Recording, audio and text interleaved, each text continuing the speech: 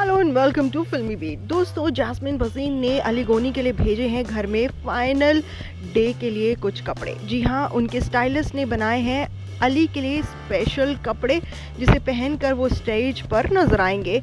Well आपको बता दें कि अभी पिछले एपिसोड में भी जासमिन के भेजे हुए कपड़ों में खूब स्टाइलिश दिखाई दी है अली गोनी आपको और भी डिटेल्स बताएँगे, लेकिन अगर आप हमारे चैनल पर नए हैं और आपने चैनल अभी तक सब्सक्राइब नहीं किया है तो जल्दी से कर लीजिएगा ताकि आपको मिल सके सारी लेटेस्ट गॉसिप अपडेट तो दोस्तों फिनाले बिल्कुल करीब है और कंटेस्टेंट की तैयारियाँ शुरू हो चुकी हैं।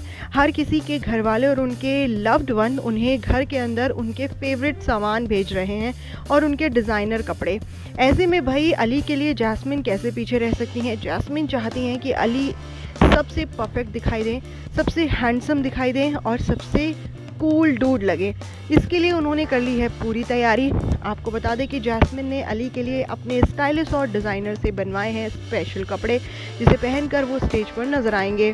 हालाँकि यही नहीं, आपको बता दें कि जब से जैस्मिन घर से बाहर गई हैं, उन्होंने अली के लिए स्पेशल कपड़ों की डिमांड की। उन्होंने अली के लिए काफ़ी स्पेशल सूट्स बनवाए, जो आप पिछले एपिसोड में देख भी सकते हैं, जहाँ पर बीबी फाइनलिस्ट के फ़ोटोशूट हुए हैं और उसमें अली ने जो सूट पहना है, वो जैस्मिन के डिज़ाइनर ने भेजा है।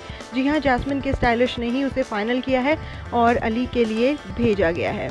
फ़िलहाल दोस्तों, ये देखकर आप कितने एक्साइटेड हैं और जानकर कितने एक्साइटेड हैं और ये भी जानना बहुत ज़्यादा एक्साइटिंग हो गया है कि वोटिंग ट्रेंड्स का रुख तो अली की तरफ़ भी मुड़ रहा है। जी हाँ टॉप टू में अली देखे जा रहे हैं।